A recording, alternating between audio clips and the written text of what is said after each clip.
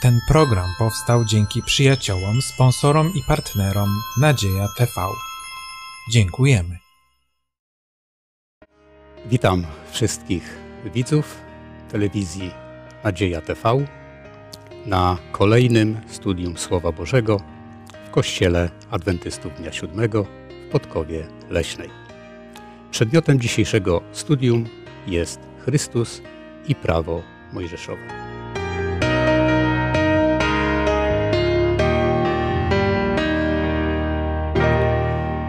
Dzisiaj wraz ze mną są Klaudia, Janusz, Stanisław i prowadzący Mieczysław. Jak zawsze, tak i dzisiaj chcemy Boga prosić o prowadzenie nas dzisiaj w tym studium i o, o to, żeby dał nam dobre myśli. Proszę Klaudię o modlitwę.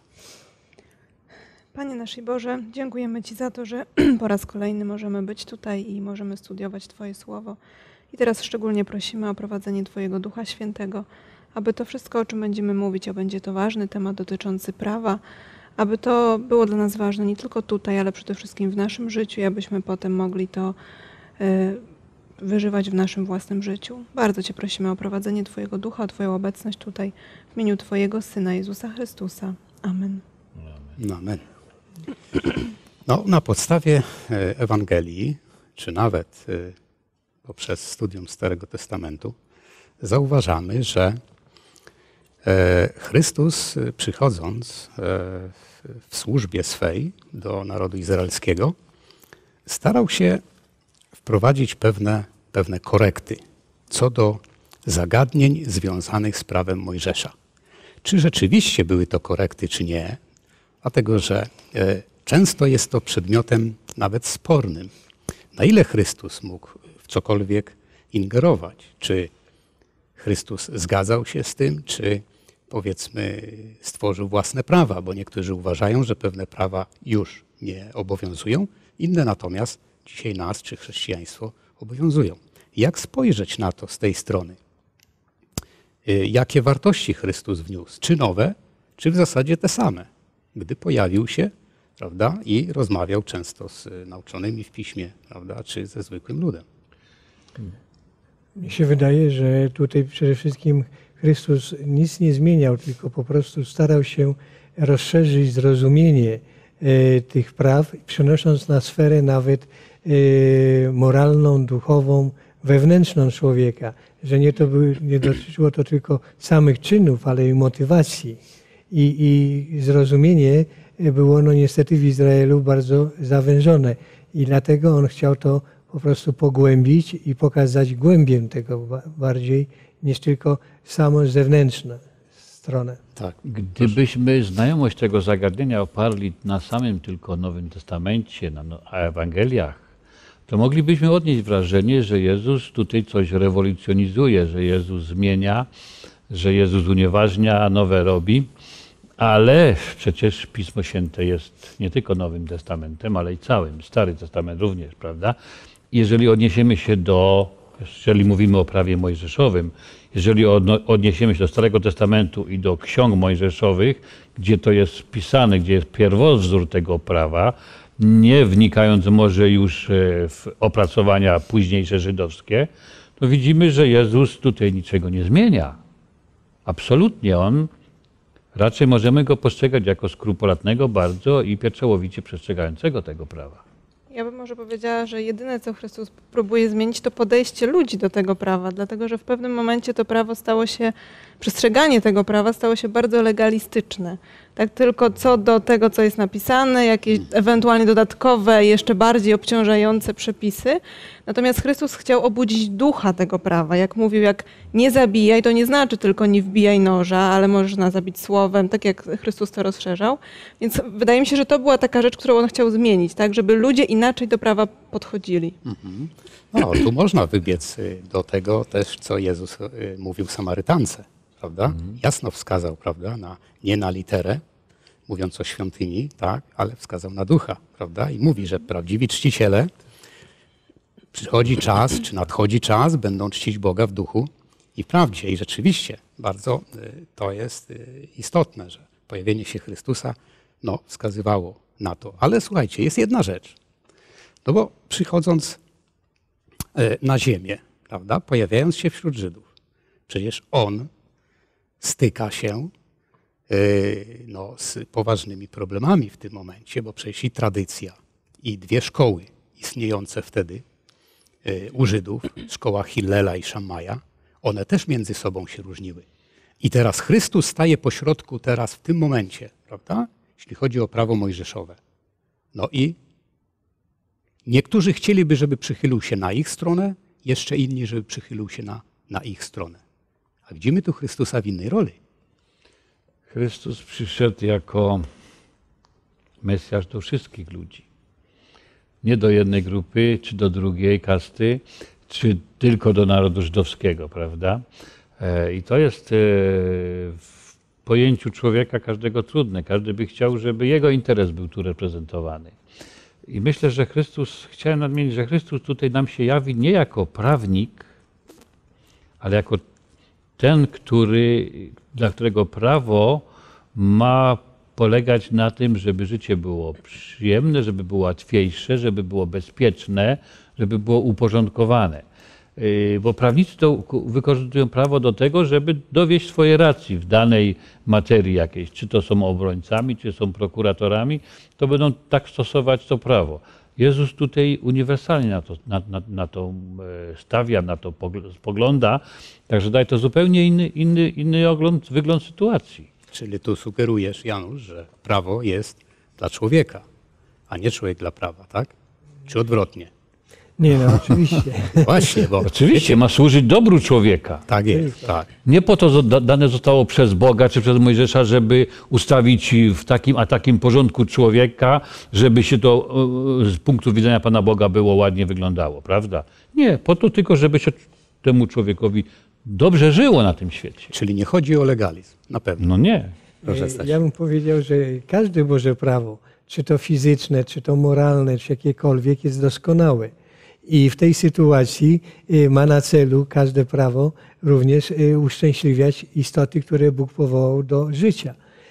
I dlatego nie ma wątpliwości do tego, że Chrystus był przekonany, że w takiej formie prawo, które on interpretuje, jest y, też doskonałe i ludzie tak powinni je odbierać. I to będzie tylko dla ich dobra. Tak, ale za chwilę będziemy o tym mówić. Zobaczymy, jakie, jakie pojawiają się problemy w tym momencie. Stasio mówiąc, że e, to, co Chrystus mówi, my to tak postrzegamy teraz, czytając Biblię, e, rozmyślając nad tym, jesteśmy jakby oddani Bogu, prawda? No, chyba źle nie powiem, że każdy z nas y, całym sercem chce być oddany Bogu i my to tak uznajemy ale Chrystus natrafił na poważne problemy w tamtym czasie. Prawda? Zwróćmy uwagę na jedną rzecz na początek, bo tymi etapami oczywiście dalej sobie pójdziemy. Kwestia obrzeski i posłuszeństwa prawda? istniała przez wiele wieków. Wiemy, że inne narody też miały obrzeskę, prawda? Nawet w okresie hellenistycznym e, pojawił się problem, kiedy, kiedy Żydzi, którzy chcieli bardziej zasymilować się z Grekami, uważali, że obrzeska jest niepotrzebna.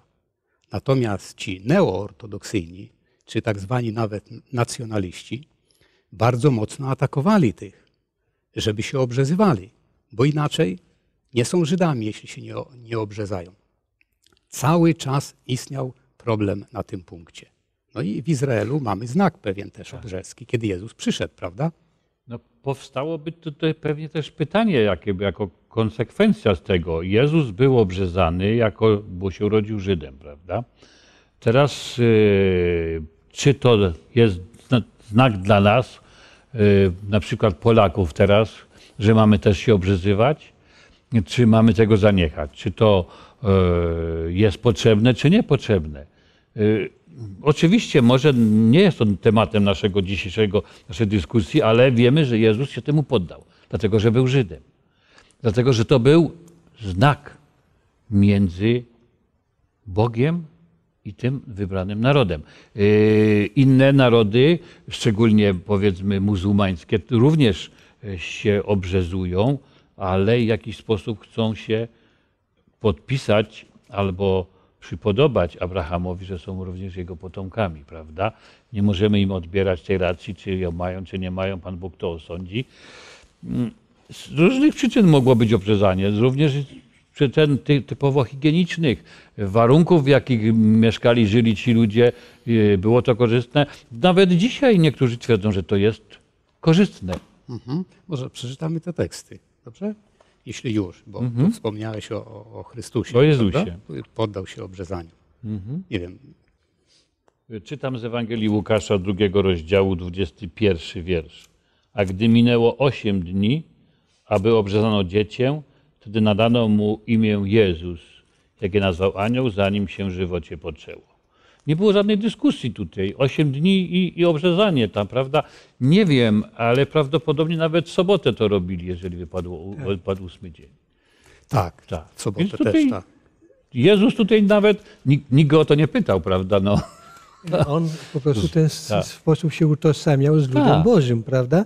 A propos ośmiu dnia, to dzisiejszy świat nauki stwierdził, że w ósmym dniu yy, że krew yy, dziecka ma najg- jest najgęstsza. Czyli po prostu nie powoduje dużego krwotoku, jest krzepliwość Mm. większa i tak dalej. Także widzimy, jak Bóg wszystko Przewidział. to ustalił, ustanowił.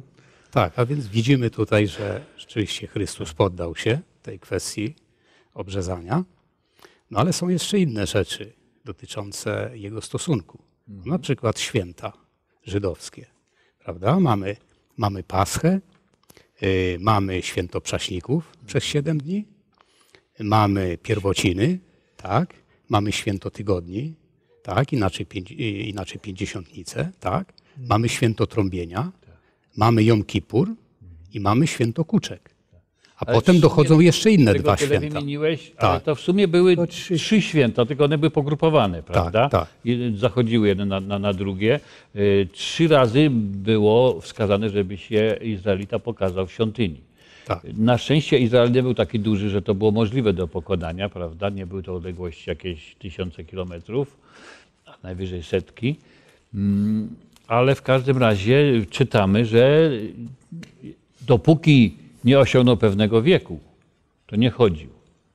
Dopiero w 12 roku życia chłopiec był prowadzony do świątyni i uzyskiwał prawa i przywileje i mógł uczestniczyć również w tym święcie. Tak, ale zobaczcie, że przecież te y, 3,5 roku, kiedy Chrystus y, był w służbie, tak, no to uczestniczył w tych świętach. Tak. Na pewno.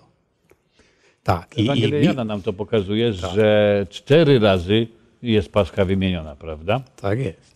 No i o to chodzi tutaj, żeby oczywiście, nie wiem, widzimy na przykład na podstawie Paschy, tak, zabity baranek, e, przy, y, kość jego nie będzie złamana, to już y, No. w dwunastym rozdziale Księgi Rodzaju, czy pierwszej księgi, e, przepraszam, drugiej księgi Mojżesza, tak, czytamy. No i teraz ten baranek jest, prawda, przelana krew i tak dalej, prawda. Jan Chrzciciel, gdy będzie e, głosił e, przyjście Mesjasza, no to wskaże na Chrystusa, oto prawdziwy baranek, który gładzi grzechy świata, nie? Czyli widzimy, że te święta nawet, które były w Izraelu, one miały konkretny cel i wskazanie, prawda, na pewną postać. Fakt, że baranek ucieka w tym momencie z ołtarza, y, kiedy mając go zabić y, kapłani, kiedy umiera Chrystus, jest jakby też dodatkowym potwierdzeniem, że to jest ten prawdziwy baranek, teraz umiera zamiast tego, który miałby zastępować. Także widzimy, że te y, znaki są naprawdę bardzo ewidentne, które wskazywały dla narodu, powinny być oczywiste, y, że to właśnie jest Mesjasz. Tak, znaczy my, myślę, że tu w tej chwili naszym tematem jest e, to, jak prawo, bo nie będziemy mówić o znaczeniu tych wszystkich świąt, tylko jak Jezus do tego miał stosunek, bo tu tam się przewijają różne dziedziny tego prawa. Prawda? Jakieś e, symbole przynależności do narodu, e, symbole wskazujące święta, wskazujące na całą liturgię, na przede wszystkim na Mesjasza. Cała świątynia kręci się wokół Mesjasza i to tu jest istotne, że Jezus w tej świątyni się znajduje, znajduje tam wiele tematów, które są mu bardzo bliskie które rozumie, pojmuje i nie może się od tego oderwać. Musi to o tym porozmawiać jako młode dziecko. Dwunastoletnie zadaje bardzo dużo pytań i, i dociekliwych, i drobiazgowych kapłanom, że ich aż stawia w nawet często pewnie w trudnych sytuacjach. Tak, ale jest jedno święto, e, nie wiem czy kluczowe, no prawdopodobnie tak, najważniejsze święto to święto Pascha. Tak. I mamy tutaj taką sytuację, kiedy Chrystus dorasta do wieku 12 lat, rodzice go zabierają do Jerozolimy, tak. Świadczy to o tym, że przechodzi ten y, od wieku y, dziecięcego w wiek młodzieńczy, tak. Y, Od 12 lat ma prawo w zasadzie, według praw żydowskich, no, kształcić się dalej. Czyli od 12 lat mogliby go wziąć pod opiekę uczeni, tak, w piśmie i oczywiście dalej go wychowywać. Tak, kształcić go. No, ale popatrzmy. Rodzice go zabierają do Jerozolimy. No i co się dzieje? Jest Pascha, święto Paschy. Czy Chrystus daje tam jakieś wskazówki dotyczące jego stosunku do prawa? Czego tam się dowiadujemy? No, y, raz, że uczestniczy w, y, w dyskusjach y, rabinów i kapłanów, wyjaśnia im wręcz pewne rzeczy, co było na pewno wielkim zaskoczeniem dla tych ludzi, a jednocześnie później w pewnym naszego punktu widzenia jakby staje się nieposłusznym swoim rodzicom, prawda? E, kiedy tego, no ale widzimy, że to też było jakieś, miało swój wydźwięk w jego przyszłym życiu, bo wskazywało na zginienie, zaginięcie czy zginięcie Chrystusa i później odnalezienie się, prawda? Czyli na śmierć jakby i zmartwychwstanie. Jezus mówi takie krótkie zdanie. Czy nie wiedzieliście, że w tym, co jest Ojca mego, ja być muszę? On zrozumiał, że jest, dzieje się wola Boża, że to są rzeczy, które dotyczą historii całej ludzkości, pewnie w jakiś sposób. Musiał to wiedzieć, że to są rzeczy, które są bardzo ważne dla całego świata i, i bardzo go intrygowało. Tak, i to co mówisz. Zapomniał o wszystkim, o rodzicach, zapomniał o obowiązkach swoich. Tak, to co mówisz, to jest y, tutaj no, bardzo istotne, bo mamy y, Jezusa, mamy Marię i mamy Tak. Józefa. I słowa, że On musi być w tym, co jest Ojca Jego, wyraźnie wskazuje Oczywiście. na misję specjalną. Tak?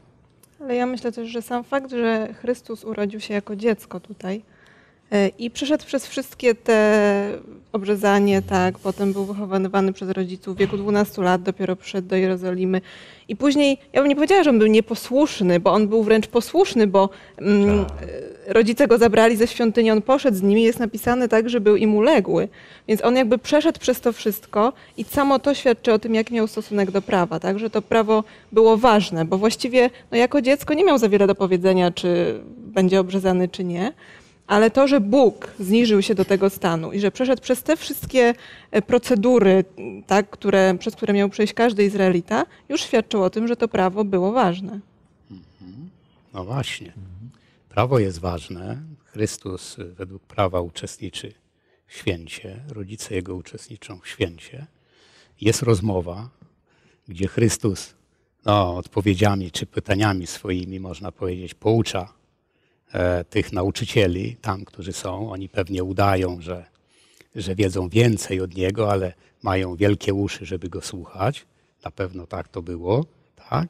Ale jest tam jedna rzecz bardzo istotna, nie? Tam jest kwestia tych trzech dni, prawda?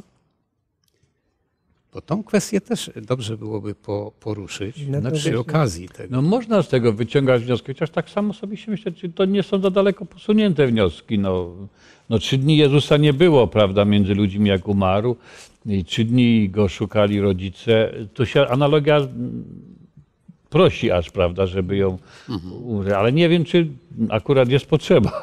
No, O, dosłownie. tam jest jeszcze inna analogia, bo na przykład y, Jezusa można stracić w ciągu jednego dnia.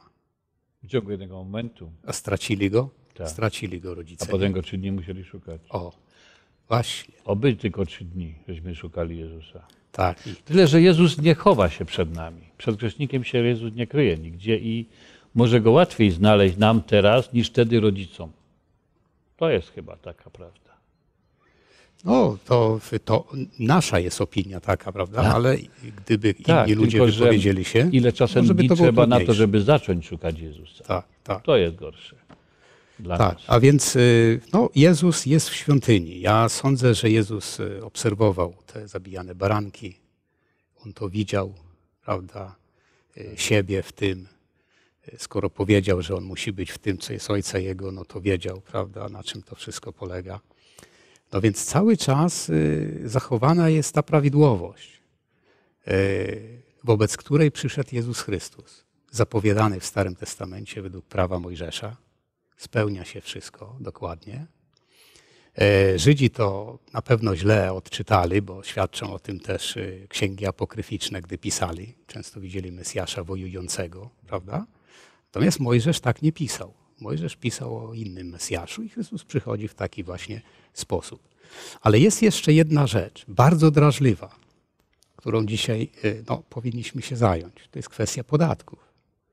No bo dlaczego drażliwa rzecz? No, przecież y, okupant, który wtedy e, panował, no to y, nakładał podatki. E, Rzymianie mieli podatki, no, tak zwane pośrednie i bezpośrednie. Nie? Mieli podatki, które też ob- obowiązywały Judeę. To są podatki od gruntu na przykład. Były y, podatki obrotowe, y, na przykład y, opłaty celne,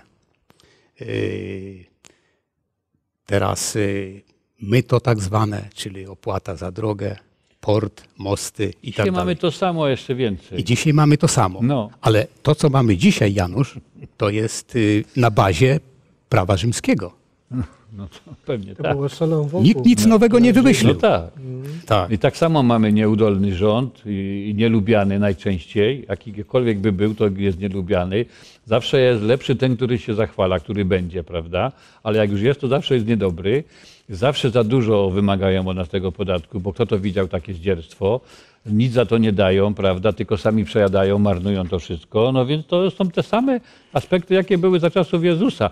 Płacić na drogach wszędzie musimy. Coraz więcej urządzeń, coraz więcej e, prawda, e, kontroli, wszystkiego, także płacimy, także nawet nie, ani nie mrugniemy okiem i już płacimy. No dobrze, ty mówisz, No. że my musimy, ale popatrzmy, jak Chrystus do tego podszedł, prawda? Ale kochani, ja bym chciał zauważyć, że w momencie, kiedy e, lud Boży zrezygnował Boga jako swojego króla, Bóg im to przepowiedział, że słuchajcie, i dobrze, zgadzam się, będziecie mieli swojego króla na sposób ludzki, tak jak ościenne narody, ale pamiętajcie, będzie was to kosztować. Będziecie musieli płacić podatki na wojsko, na utrzymanie dworu królewskiego, na inne takie sprawy i to jest właśnie było konsekwencją. I Chrystus potwierdził, że to jest też jego sprawa, bo sam się poddał temu podatkowi, prawda?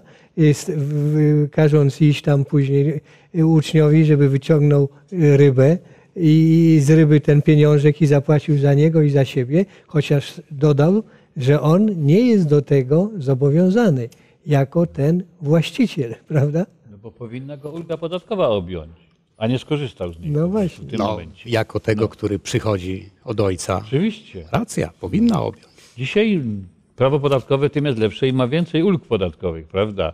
Im więcej można je wykorzystać. Jak, jest, jak, jak pokasują, to jest bardzo niedobre. No.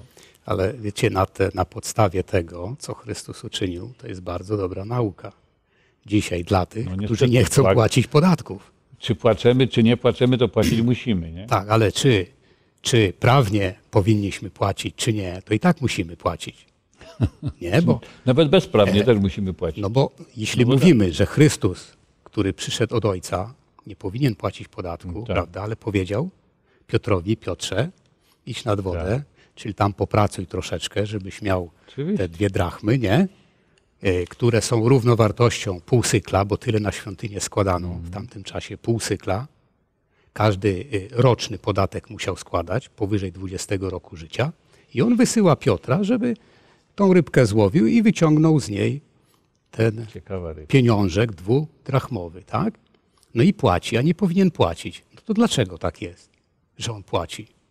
To jest bardzo fajna rzecz, która tam się pojawia, nie? Bo co Chrystus mówi? O swojej roli chciał y, powiedzieć i zaznaczyć, skąd on pochodzi i, co, i w stosunku do niego, jakie obowiązują prawa, a z których mógłby być zwolniony. Ale ze względu na was, żeby was nie gorszyć, prawda, to spokojnie zapłaciły. Tak, może przeczytamy ten tekst. Janusz, otworzyłeś go? Ale żebyśmy ich nie zgorszyli, to jest Mateusz, rozdział 17, 27 wiersz.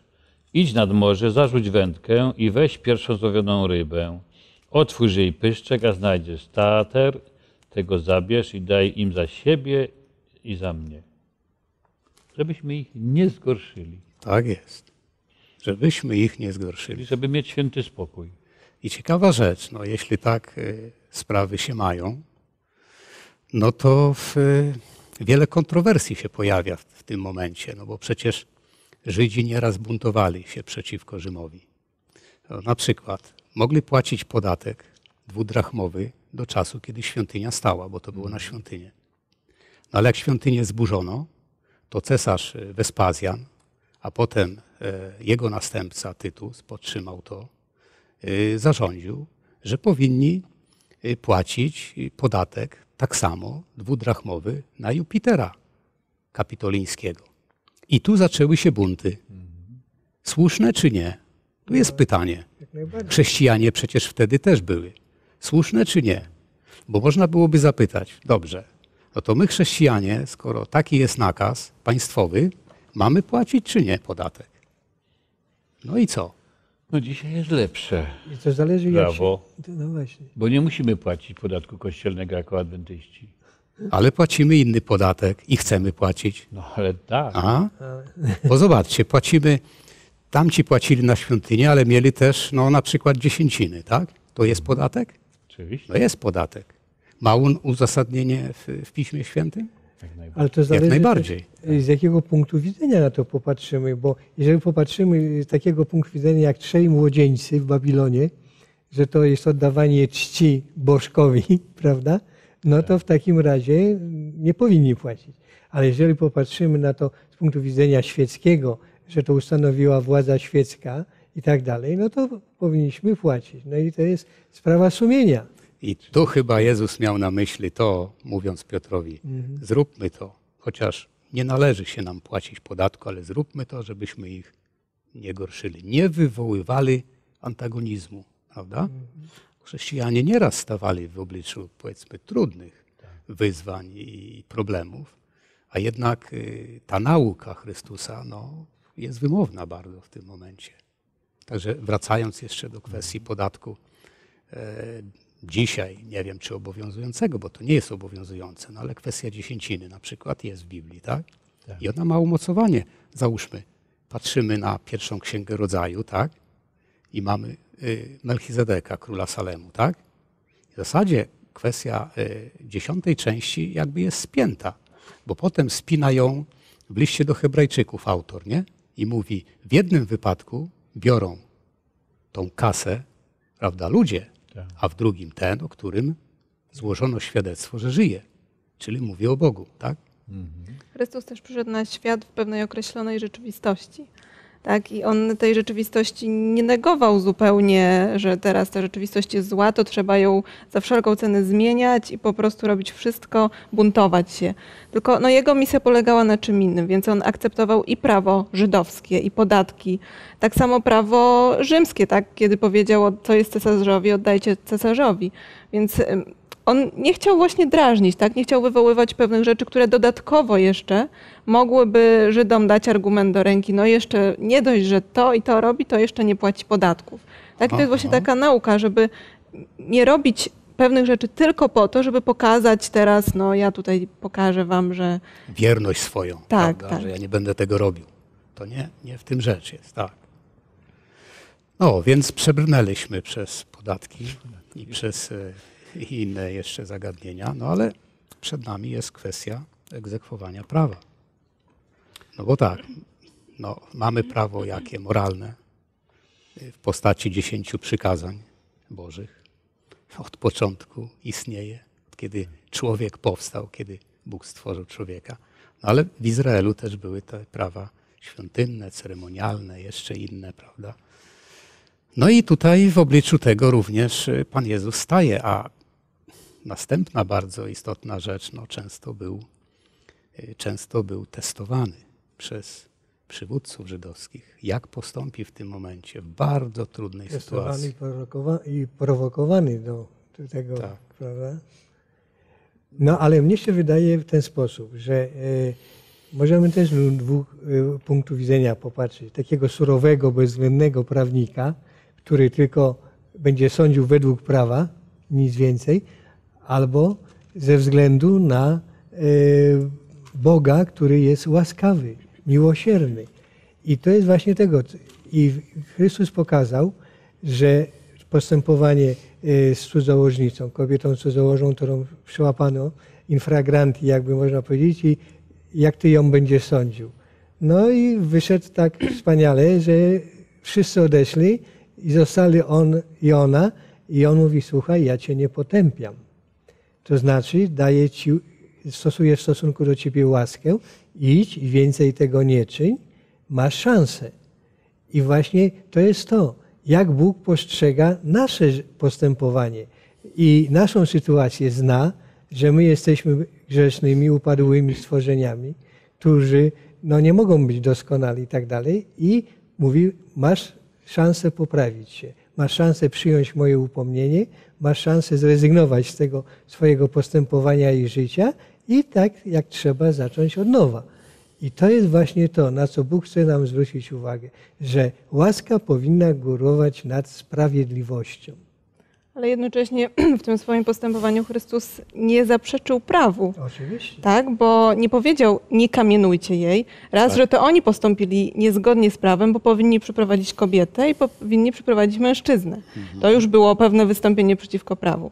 Natomiast oni tylko przyprowadzili tutaj kobietę i zadali podchwytliwe pytanie. Chrystus nie powiedział, nie róbcie tego, tylko powiedział, kto pierwszy, kto jest bez grzechu, niech rzuci kamieniem. Tak? I później, kiedy jakby okazał jej tą łaskę, też okazał, ponieważ nie było nikogo, kto by już przeciwko niej świadczył, tak? A według prawa powinny być chociaż dwie osoby, któreś natomiast wszyscy zniknęli. Więc to jest jakby tylko potwierdzenie, że Chrystus nie zaprzeczał prawu w żadnym, w żadnym momencie swojego życia, tylko stosował się do niego, ale w taki, w ta- w taki sposób, tak jak powiedziałam na początku, że chciał tą, tego ducha prawa e, jakby wzbudzić, a ludzie, którzy byli wokół tego nie rozumieli. I w momencie, kiedy się spotykali z tym duchem prawa, no to już ich nie było, tak? Bo musieliby też i na siebie spojrzeć. No tak, to byłaby jeszcze prawem. inna konsekwencja, prawda? Bo jakby wydał wyrok, no to byłby przez Rzym osądzony. Bo przecież Rzymianie zakazali Żydom wydawania wyroków śmierci. Oni gdzieś tam na boku to czynili, przestępując prawo rzymskie. Ale gdyby Chrystus, Tak, to co to mówisz, było Klaudia, wykorzystane od razu. od razu byłoby wykorzystane. A słuchajcie, zatrzymajmy się jeszcze przez chwilę na kwestii małżeństwa, bo tam też to zagadnienie występuje. Może tak. Yy, wyczytałem tą kwestię, że na przykład te dwie szkoły, które były, yy, Hillela i Szammaja, na przykład Szammaja szkoła mówiła, że yy, rozwód może być wykonany tylko w związku z jedną rzeczą, z cudzołóstwem szkoła Hillela, do której też należał e, no, słynny Benzakkaj, czy apostoł Paweł też uczył się w szkole e, Hillela. Hillel był bardziej liberalny i mówił, że kobietę można odstawić nawet w związku z tym, że no, źle nam ugotuje. Albo może trochę jest kłótliwa. Nie wypełnia małżeńskich obowiązków. Tak, no tak można byłoby Należycie. ocenić. Tak. A jednak zobaczmy, Jezus nie przychylał się ani w jedną, ani w drugą stronę. Jezus miał ten punkt widzenia, który jest w Piśmie Świętym. Jezus był w takiej sytuacji, że mm, w jakiś sposób mógłby y, niektóre rzeczy może pominąć, bo wiedział, że już przecież to prawo mojżeszowe w wielu przypadkach przestanie być aktualne, że wszystko się ma zakończyć, niedługo wypełnić i, i, i mógłby tak pobłażliwie może do niektórych rzeczy podejść, jakoś tak, ale nie widzimy tego nigdzie, w żadnym wypadku, żeby Jezus coś takiego y, zastosował. Jezus był sędzią, który zawsze stał po stronie oskarżonego, jakby można tak powiedzieć. I funkcję obrońcy, funkcję e, oskarżyciela czy prokuratora zawsze był bardziej na obronę, nastawiony. I tak jak jest Bóg w stosunku do nas. Gdyby Bóg chciał nas naprawdę tak bezwzględnie e, sądzić, no to nie mielibyśmy żadnych prawie szans. Ale tu mamy to, że wiemy, że ten, który e, nas w pewnym sensie ustanowił prawo i, i my łamiemy je, chce nas obronić i wybronić z tego, prawda? Przyszedł sam, pokazując to i oddał swoje życie, żeby nas uratować z, z tego buntu, jaki przecież zaistniał na samym początku. Wracając jeszcze do, do małżeństwa i do tej kwestii rozwodów, Chrystus też, kiedy oni przychodzą do Niego i pytają, tak, co Ty o tym myślisz i jak powinno być, też nie mówi, to jest złe prawo albo nie róbcie według tego, tylko podaje przyczynę. Rzeczywiście jest prawo, że można oddalić żonę, ale dlaczego? No dla, dlatego, że Wy tak chcieliście, no to Mojżesz dał takie prawo, natomiast w żadnym e, tutaj, w żadnej mierze Chrystus tego nie kwestionuje. Tak więc jakby we wszystkim, o czym rozmawiamy, Chrystus prawo traktuje bardzo poważnie. Tak? I tak jak mówię, tylko niezrozumienie tego, jak on to traktuje, spowodowało wszystkie te problemy i to, że ludzie widzieli tylko prawo, natomiast nie widzieli tego, kto był za tym prawem. I to był chyba główny problem. To może jeszcze dwa zdania na, na zakończenie e, naszego rozważania. Co znaczyłoby słowo wypełnił? No bo zauważyliście, że czytając e, Ewangelię Mateusza, piąty rozdział od 17 wiersza, no jest powiedziane w tym 17 wierszu. Klaudia, masz ten tekst? Mhm. Przeczytajmy może. Nie mniemajcie, że przyszedłem rozwiązać zakon albo proroków. Nie przyszedłem rozwiązać, lecz wypełnić. Tak. No i potem oczywiście wyjaśnia. Mhm. Czyli dla mnie to jest poddać się, uznać to prawo i jak każde prawo nie jest ustanawiane po to, żeby go przestrzegać, on pokazał swoim życiem, postępowaniem, że on to czyni, mimo że był prawodawcą sam. Poza tym no, Chrystus był właśnie wypełnieniem tego prawa w tym sensie, że był tym barankiem, więc on jakby z, z, samego tego faktu nie mógł zaprzeczyć temu prawu, którego raz właśnie był prawodawcą, dwa był tym, który, no, który, na którego te wszystkie symbole, całe to prawo wskazywało, więc on przyszedł potwierdzić, że jest takie prawo i właśnie wypełnić w tym sensie też. Mhm. Czyli wypełnić znaczy nadać właściwego sensu, y, bo dalsze teksty od 21 wiersza no, wskazują na to. On wyjaśnia, prawda, przy kwestii cudzołóstwa. Mówi, no, to nie jest ta rzecz, gdzie, gdzie człowiek cudzołoży i, i popełnił e, przestępstwo, ale już w myślach swoich można, prawda, to uczynić. Kolejna rzecz, kwestia sądu. To też jest, prawda? Wyjaśnienie tam Chrystusa, czy w sprawie krzywoprzysięstwa. A więc Pan Jezus, y, przychodząc na tą ziemię, dokładnie y, powyjaśniał, te zagadnienia. No ale mimo, że jak mówiliśmy, zrobił to w sposób doskonały, to i tak miał przeciwników. E, zabito go, ukrzyżowano go, e, umarł za nas według pism, oczywiście nie czyniąc żadnego przestępstwa. I dzisiaj to też w jakimś stopniu ma sens dla nas, bo stojąc w obronie prawa, możemy, podobnie jak Chrystus, no, stać się jakimiś, powiedzmy, no, poszkodowanymi. poszkodowanymi, czy nawet no, nienormalnymi ludźmi, w tym sensie, że powiedzmy tradycja czy kultura tego świata ma swoje własne uwarunkowania i to, co powiedział Chrystus już dawno temu, czy w ogóle od początku pisma o tym świadczyły, no, dzisiaj dla ludzi jest to no, nie do przyjęcia. Także serdecznie e, dziękuję dzisiaj Wam za wspólne y, studium tego słowa. Za tydzień, y, proszę Państwa, będziemy mieli kolejną, kolejną lekcję, kolejne rozważanie, które będzie nosić tytuł Chrystus i tradycja religijna. Na zakończenie pomodlimy się. Panie Boże, dziękujemy Ci bardzo, że jesteśmy Twoim ludem, że możemy studiować Twoje słowo że Ty Duchem swoim dajesz nam zrozumienie, to właściwe, to głębsze zrozumienie, nie tylko takie powierzchowne. I w ten sposób możemy pełnić wolę Twoją we wszystkich momentach. Co prawda, przez to nasza odpowiedzialność jest o wiele większa, jako tych, którzy są świadomi, jako w pewnym sensie też nauczycieli, którzy idą z misją do innych, żeby przedstawić Twoje wezwanie Daj nam Ducha Świętego, abyśmy mogli w Jego mocy to wszystko wypełniać tak jak trzeba i kierować wszystkich do Ciebie jako jedynego, który może uratować każdego przed wiecznym zginieniem i dać życie wieczne pod Twoją, pod Twoimi rządami. Amen.